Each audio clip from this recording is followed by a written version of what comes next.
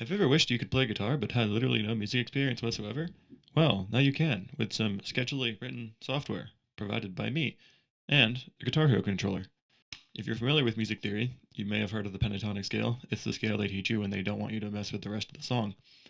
Uh, and that's what I have for these face notes, like this.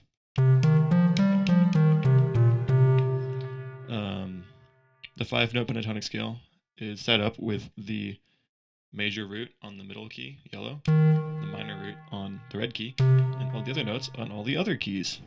You can do bends using the pitch bender. If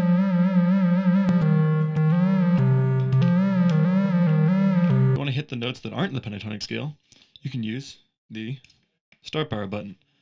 Um, it'll hit all the notes that aren't in the scale, treating uh, red as the Aeolian minor root and yellow as the Ionian major root. I don't know. I probably don't even.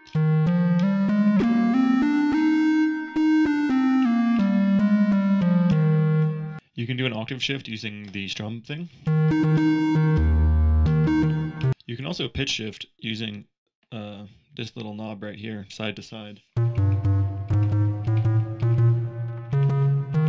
So that way you can um, be in sync with the rest of your band. You can also use this pad to play chords.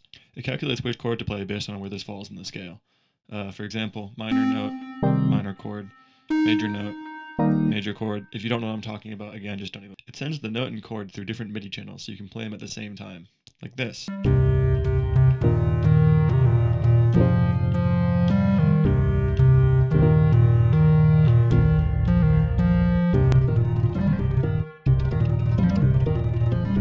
Use this for pretty much anything you want. I mean, you can use it for live performances, coming up with interesting tunes in the pentatonic scale, soloing. In the night, I hear him talk, the coolest story of ever told.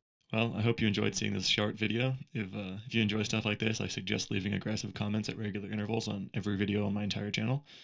Um, this video was made because somebody left me a comment yesterday and I remembered that I had a YouTube channel. So if you want to try this out for yourself, you can look in the description where I linked my GitHub and there's uh, better and more thorough instructions on how it works.